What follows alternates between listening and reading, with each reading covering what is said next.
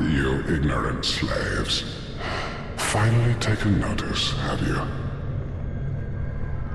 Of the power of my beloved Ocelotte, child of dragons.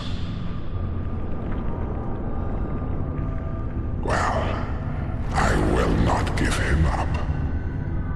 For he is all that I have.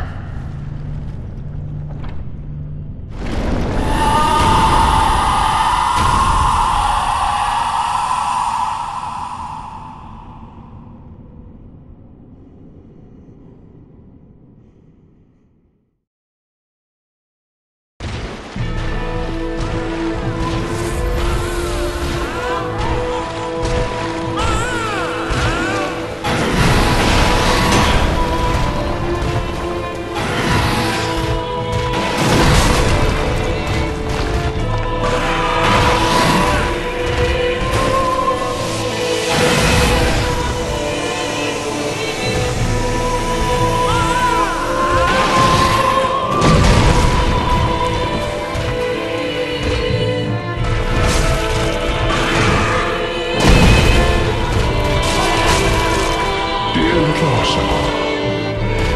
have you gone? Are you hiding from me? Come out.